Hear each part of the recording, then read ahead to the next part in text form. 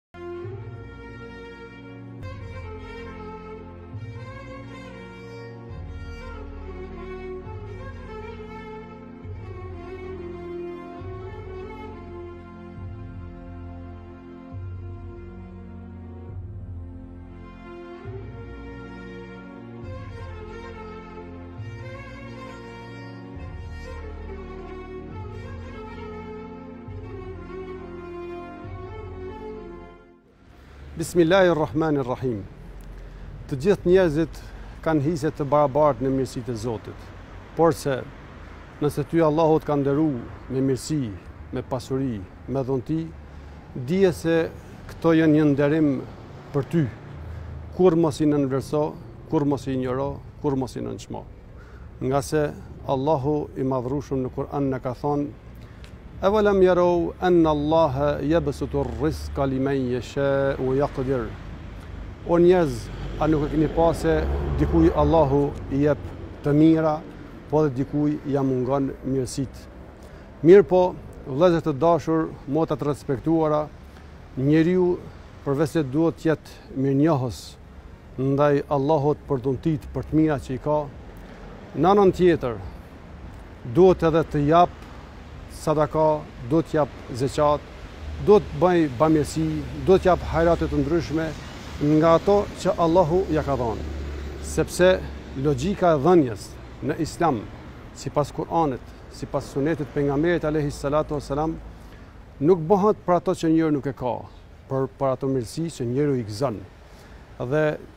definitivisht zeqati, sadakatul fitri, sadaka, hajratet, bamirësitë, rrënjët i kanë thellë në imanin tonë që e kemi ndaj Zotit Fuqiplot. Allahu aq shumë e ka vlerësu dhënien për hir të Zotit sa që e ka cilësuar si huadhënie ndaj Allahut dhe me një rast thotë Men dhel ledhi yukridu Allahe qardan hasanan feyudaifahu lehu adafan kathira Allahu thotë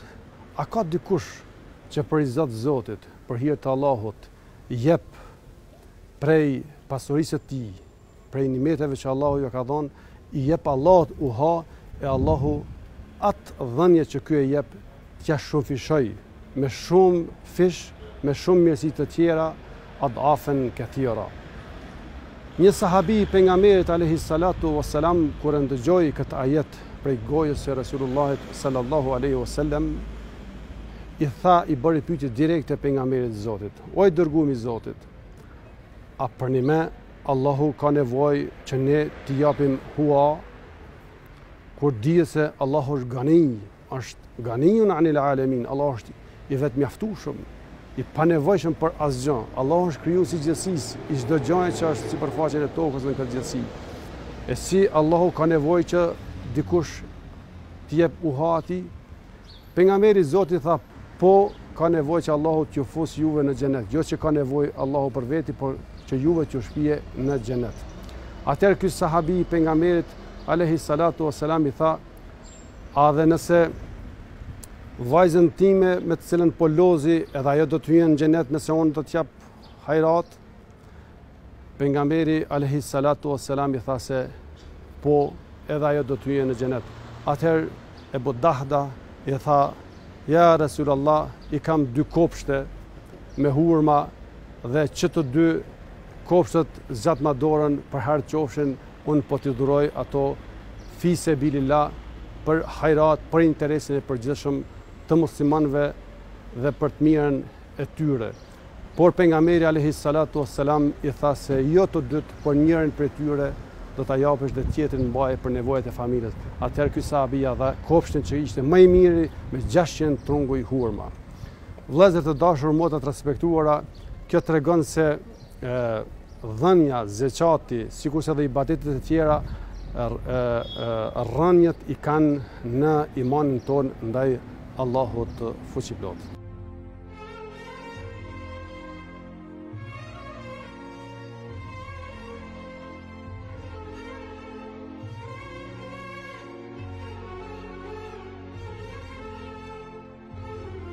Vëllezër të dashur motra të respektuara,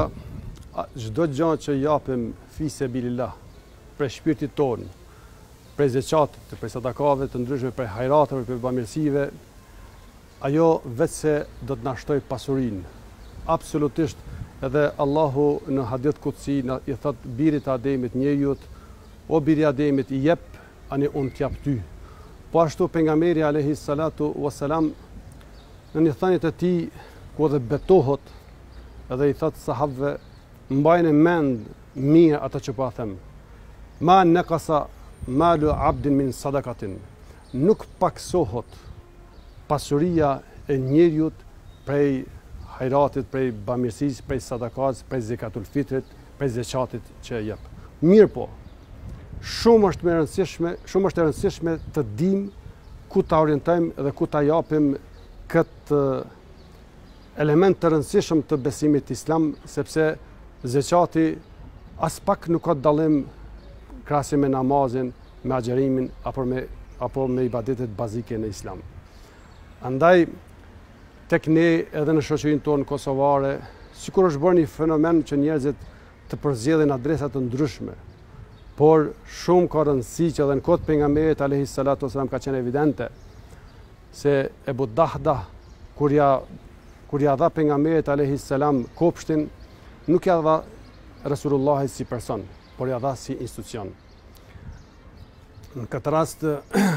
adresa e vetme që ne duhet ta përzgjedhim është institucioni i cili kujdeset për jetën fetare në Republikën e Kosovës, apo edhe në vendet tjera kudo të qofshin ato.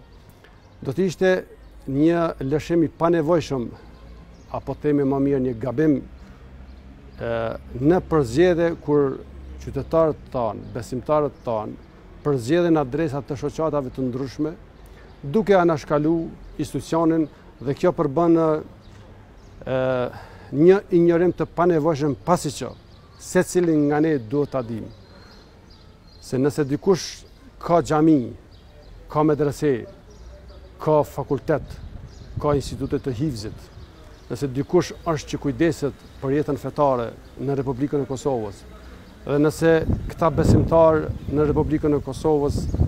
janë të besimit islam dhe kanë iman, le ta dinë që për këtë përkatësi fetare, për këtë identitet, për këtë kulturë që kur e kur është kujdesur institucioni fetar, Bashkësia Islame. Dhe kundrejt kësaj të përzgjedhësh adresa të tjera, të cilët, as nuk kanë medrese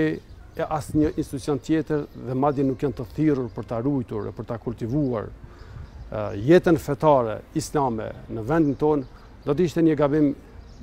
do të thoja i pafalshëm sepse sikur njerëzit të gjithë të mendonin kësisoj, atëherë dëmi ndaj fesë, ndaj institucionit do të ishte tepër i madh. Prandaj vëllezër të dashur, motra të respektuara, Çdo çdo gjë që keni prej hajratave, prej bamirësive, prej zekatit, sadakatul fitrit, ato duhet t'i orientoni në institucionin e bashkësisë islame dhe askund tjetër.